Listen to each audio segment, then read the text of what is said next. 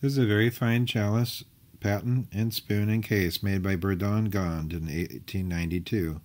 This is a fine antique chalice made in all 800 silver as shown.